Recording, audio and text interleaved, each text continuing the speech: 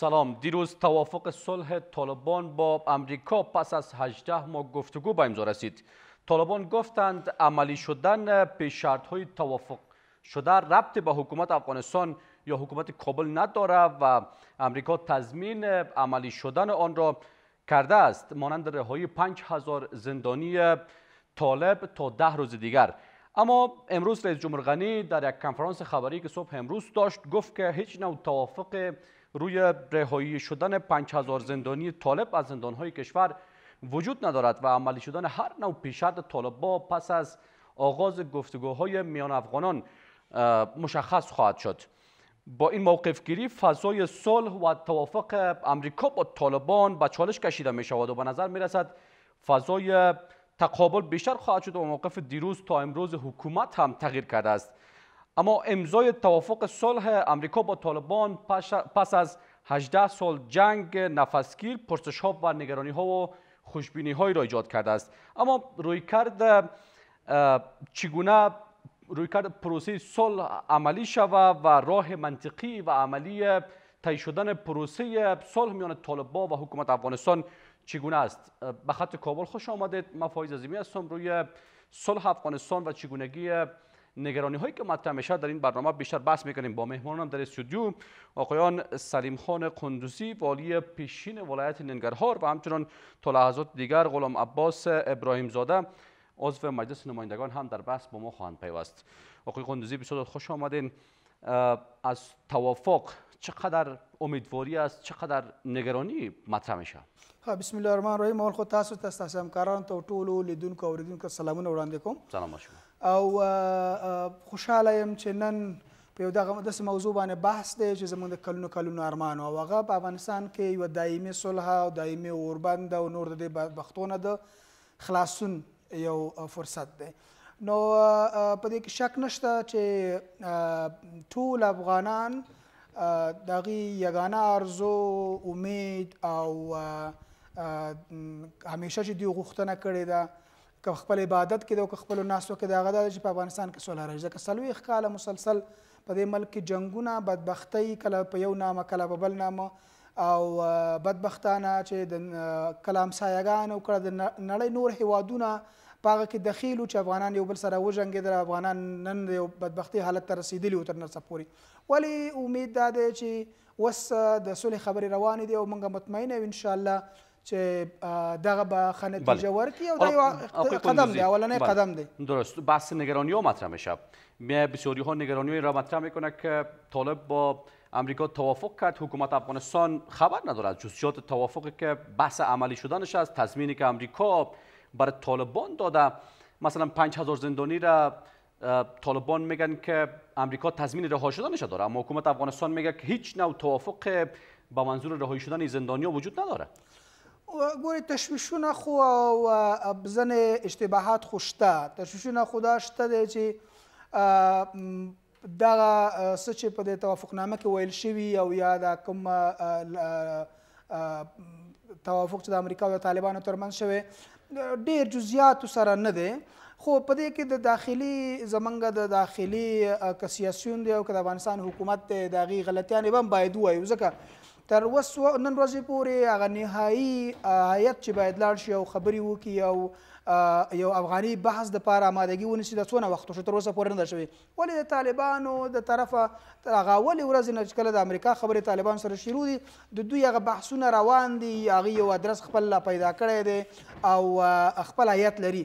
نو ډیر هغه مسایل چې اوس سره موږ مخکې فکر کوم یو یو عمده مشکل دا ده چې موږ ونه کولای شو په وخت باندې یو قوي هیئت جوړ کړو ترڅو هغه تشویشونه چې موږ لرو دلته بحث شوی وي. بسیار تشکر آقای ابراهیم زاده و بعد بسیار خوش آمدین. میشه بگوین که در شرایطی که ما قرار داریم در بحث صلح افغانستان حکومت در چگونه یک شرایط قرار گرفته؟ یک طرف دیروز است با در کنفرانس خبری که با منشی ناتو داشتند با جمعی از رهبران سیاسی افغانستان حضور داشتند از امضای توافق صلح استقبال کردند اما امروز رئیس جمهور غنی گفت که هیچ نوع توافق با منظور اجرایی شدن مثلا رهایی زندانیان طالبا اول وجود نداره. شرایطی که حکومت افغانستان قرار گرفته چگونه یک وضعیت است؟ بسم الله الرحمن الرحیم. سلام خدمت شما. خدمت همکار عزیز مردم افغانستان. سلام باشید البته حکومت افغانستان در یک بنبستی قرار گرفته که امروز از یک طرف جامعه جهانی هستند و از یک طرف سیاسون قدرت طلبی که در داخل افغانستان هستند که هنوز انتخابات ما چند ماه میگذره.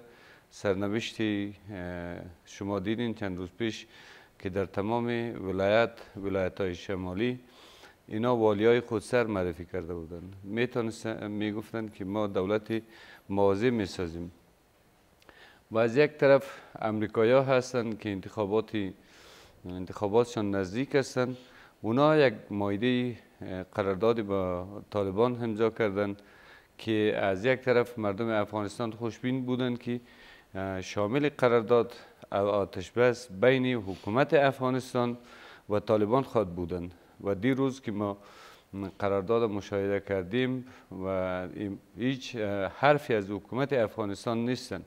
تنها آتش بس بین امریکا و طالبان هستند. این هستند که طالبان هم طالب قدرتش بیشتر شد. اینا را امریکا بر از اینا قوت بخشیدن و سی و چند کشوری که در اینجا بودن اینا هم طالبان را به رسمیت شناختن و طالبان گروه جنگجویی هستند که اونا اگر می‌خواین جنگ کنن اگر می‌خواین اگر می‌خواین که از جنگ دست بکشن باید در قدم اول اونا با حکومت افغانستان می جنگن آقای ابراهیم زاده چقدر نگرانی وجود دارد؟ چقدر در بحث صلح افغانستان این قضیه میره با پیچیدگی های کلانش که یک بخش این طرف حکومت افغانستان جمع سیاسی اون طرف طالبا گفتگویی که میان افغانان آغاز میشه به چالش کشیده شود البته این گفتگو هیچ نتایجی نداره. اونا طالبا بارها نشستایی داشتن که می‌خواستن که بین با حکومت و قانون اساسی افغانستان قبول کنند اونا قبول نکردن. گروه گروهی هستند که در اختیار خود قرار ندارند در اختیار آیسای پاکستان قرار دارند و حکومت افغانستان و سیاسون افغانستان هم یک دیست نیستند. امروز زیادتر سیاسونی هستند که به حکومت طالب خوش است نه به حکومت آقای غنی. امروز هر فشاری که هست بالای شانه های حکومت افغانستان هستند. و در این امریکایی ها جنگ ویتنام در افغانستان در ویتنام 20 بله. سال جنگ بودند. بعد از 20 سال و اینا ویتنام اعلا کردند. که ما با شما کمک می‌کنیم که یک, یک, میلیارد و 500 میلیون دلار کمک می‌کنیم و نکردن کمک خودم نکردن. 20 سال اونا باز هم با هم جنگیدن تا که یک کشورشان سقوط کردن. حالا چی چیز اتفاق میفته نگرانی چقدر جدی است؟ نگرانی جدی هستن. حکومت هر روز تجدید جنگ بیشتر میشه. ما میان کی؟ میان حکومت افغانستان و طالبانی که در جبهات می جنگن اونا پیمانی که فعلا پیش اونا هستن. در قدم اول اونا رهایی پنج هزار زندانی پنج هزار زندانی که امروز از زندان آزاد شوند دوباره میرن. اونا چی تضمینی وجود داره که اونا دوباره نجنگن؟ اونا باز هم میرن در جبهات جنگ سلام میوردانن علیه حکومت افغانستان می جنگن والا در شرایط قرار داریم که امریکا متحد طالب شده هم متحد حکومت سال هاست که بوده. امریکا پشت منافع خود هست و پیشتر هم بر شما عرض کردم که اینا انتخاباتشان نزدیک است.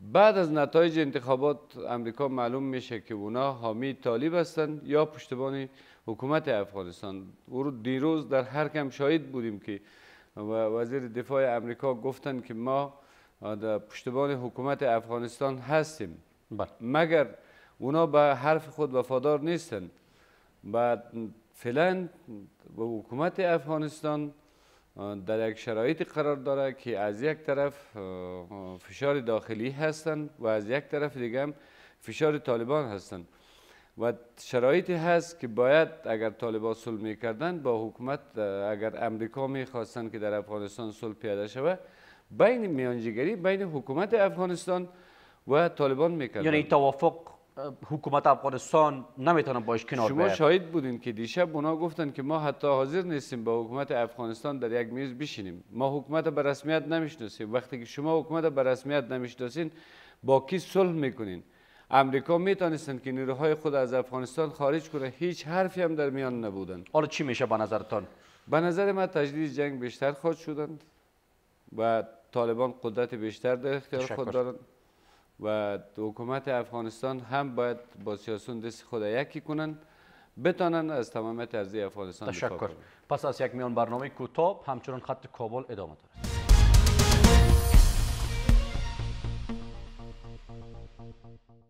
دارد. بسیار زود خوش آمدین. روی توافق طالبا با امریکا صحبت می‌کنیم که رئیس جمهور غنی گفت هیچ نوع پیشرط به منظور اجرایی شدن عملی شدن توافق و پیشرط هایی که امریکا با طالبا داشته و پذیرفته شده نزد حکومت افغانستان این توافق وجود نداره و زندانیان طالبایی که قرار است تا ده روز دیگر به اساس توافقنامه رها شوند چون این بحث پس از آغاز گفتگوی میان افغانان مشخص خواهد شد که رها شوند یا بحثی که فیصله هایی که صورت می‌گیره آقای خندوزی شما به عنوان کسی که در ولایت ننگرهار بودین سالها کار کردین بحث طالب و حکومت و مسئله جنگ افغانستان از نزدیک سالها نظارت کردین. حالا یک طرف اه، طالبایی که آقای ابراهیم زاده گفتن که در گرو طالبا هستن مسئله دیگه سیاسیونی که همدست نیستن. انتخاباتی که نتیجهش به شکل پرچالش شد. و امریکایی که هم با حکومت افغانستان پیمان استراتژیک داره و پیمان امنیتی داره و او طرف با طالبا توافق جدید امضا کرده با این شرایط وضعیت به کجا می‌کشه؟ خب اول خو دا چې یو یو خبره واضح ده. جنگ د حل لاره نه ده. تقریبا یو لک څلوېښت زره پورې قوتونه د امریکایانو او د نورو متحدینو نتیجه ورنه کړه. نو اه، ځکه چې هره ورځ امریکایان نه امریکایان مري او نه اروپایان دومره مري. هره ورځ موږ او تاسې مرو هره ورځ که طالب وژل کېږي هم د دې خاورې بچی ده او د هغې کونډه یتیمان هم دې خاورې ده پاتې دي. که زما او ستا عسکر وژل کېږي هم د هغې کونډه او یتیم دې خاورې ده پاتې بدبختي ټوله زموږ ده.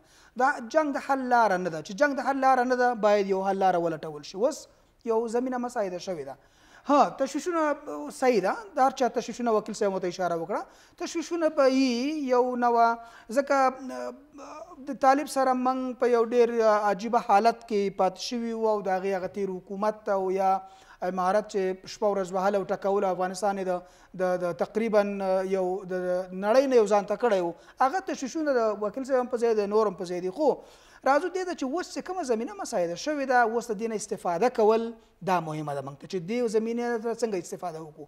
که دا چانس هم زموږ د لاسه لاړ شي. اوس که فرض که امریکایان د طالبانو سره یو نتیجې ته رسیږي او هغه دا اوله بحث خو د امریکایانو او طالبانو په منځ کې و که نتیجې ته سره رسیږي. زمونږ او د امریکایانو که روابط سره خرابېږي. مثلا نو جنگ خو امکانات غواړي. بیا څه چې حقیقت دی هغه دا دی چې موږ ته خو امکانات د جنگ امریکا راکوي.